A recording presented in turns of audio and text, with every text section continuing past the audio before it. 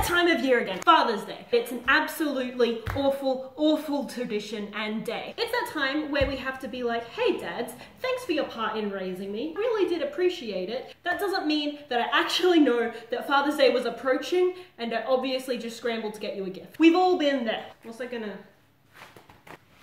best hunting gloves. I'm putting together a last minute gift for Geralt and hopefully this will serve as a guide to finding something for your various fathers. I was doing some errands running through some various flea markets and I found some stuff that hopefully will serve as a good gift. So I kind of just went with the sword. He's going to use it a lot and bad boy like this, he will have the power to slay every monster in Temeria, Novigrad, Oxenfurt, all the other cities that Vesemir was telling me about and I fell asleep in his class again. You can't go better than a sword sword. That's one gift down, but you know what? I want to be a little bit extra this Father's Day. I would really like to heavily imply that Geralt is the best dad that anyone could ever ask for in this life. So I found these in a flea market. Some old lady was selling them. She said that one of these had the ability to cast eternal luck onto the person who drinks from it, and the other is the most vital, painful, horrible poison that you can imagine. I think you can find uses for these. It was the blue one that had the poison and the clear one that had the luck was it the clear one that had the poison and the blue one that had the luck? But he's a witcher, he'll figure it out. Okay, so I might have to do some more work on those before I actually give them over as a gift. But I did find something else in the cool flea market. It was this. I found a djinn. Who wouldn't want three wishes as a Father's Day present? And all you have to do is fight off the djinn in order to secure it. This is the perfect gift for a witcher. That does leave the fact that Geralt has to choose the wishes for himself, and he's clearly shown himself to have very good character when it comes to making wishes. This might be a little bit wasted on Geralt, so I'm just gonna move on to something else more personal. I do have a couple other things that I found. Ta-da! Look at!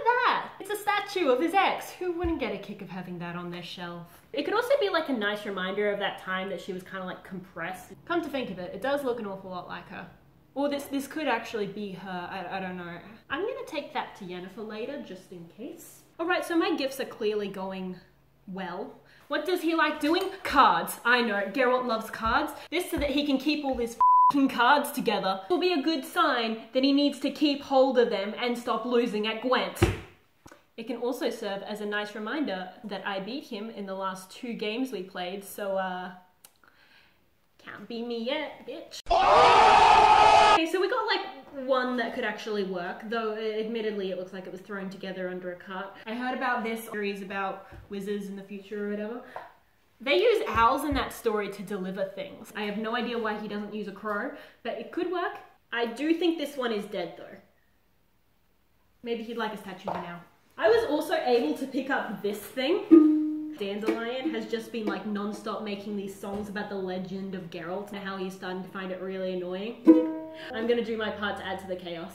I need to actually learn how to play in order for this to work though. Okay guys, so I have one more gift and I don't know if Geralt is going to get any use out of it, but I figure it might be nice to offer and that is called the Ciri Locator app. Whenever your daughter is missing, been kidnapped, taken to various isles, under watch from the wild hunt, this app will help locate said person within a click of a button. I really don't know why he would need this.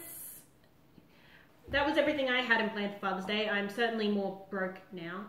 I really should have just gotten him a pack of Gwent cards. yeah. Anyway, I hope you all had a very nice Father's Day. Bye. Hi everyone, it's the Madge Clone. I wasn't kidding when I said I do cosplay and that I won't be on my channel very often, but you know what, I am trying. Um, uni's starting to get a little bit lighter, so I'm hopefully going to make a little bit more content, but it's really not best to take that as a promise. Um, I hope you like this video. This is the first time I've actually tried making anything like this, and um, I would like to make more in the future, so I hope everyone is actually having a very nice time, and I hope everyone has a good Father's Day. Make sure, make sure you show your father that you love them. Okay, bye. Also, I love you, Dad. Because, you know, we gotta get Ciri dancing.